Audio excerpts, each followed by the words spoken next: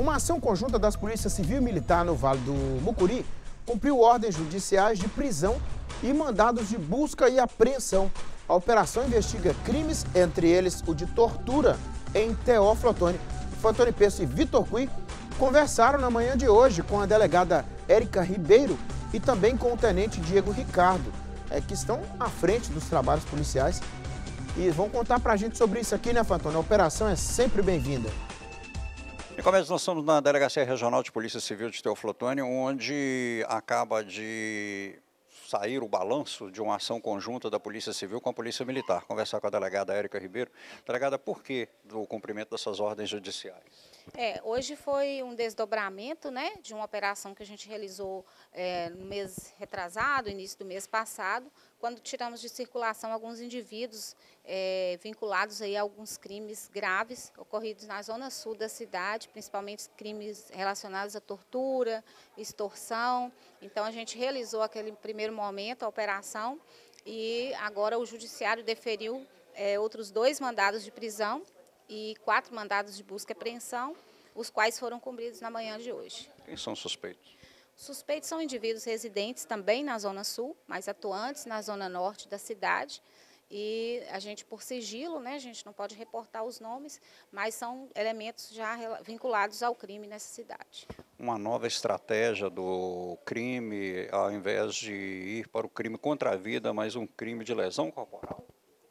É, talvez uma lesão corporal seguida de morte poderia ser, mas a gente acredita que o intuito desses indivíduos é castigar né, moradores ali do bairro, é, trazendo um sofrimento desnecessário para que possa prevalecer a ordem dos mesmos, né, e a força policial não seja chamada. Então, isso que a gente vem tentando combater dia a dia, né, com o apoio da Polícia Militar, que nos traz, nos alimenta com as informações do dia a dia, né, está diuturnamente aí nos, nos bairros, e a gente, com a, a questão da, da investigação, é, o trabalho de Polícia Judiciária, a gente tem levado ao conhecimento do Ministério Público e o Judiciário, que está nesse mesmo entendimento, e a gente está conseguindo tirar de circulação essas pessoas. Qual o prosseguimento dessa ação delegada? É, a gente acredita que novas diligências serão feitas, e novas operações também serão realizadas, uma vez que outros indivíduos, nós já temos informações de que estão atuando ou atuaram nessa prática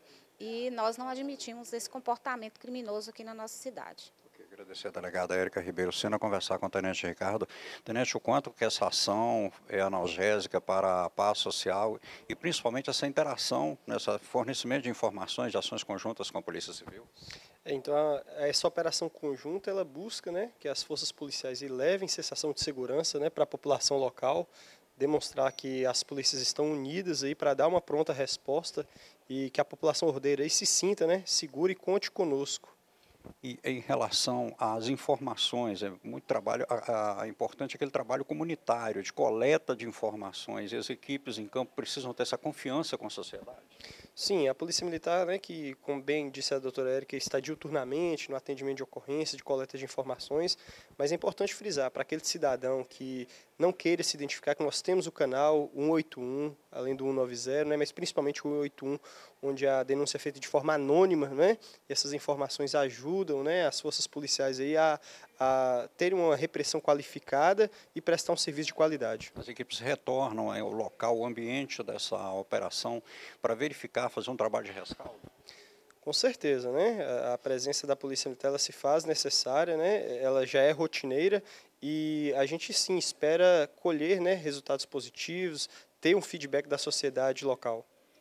Agradecer ao Tenente Ricardo pelas informações, com as imagens do repórter cinematográfico Vitor Cui, Antônio Pisso para o Balanço Geral. Obrigado, Fantoni.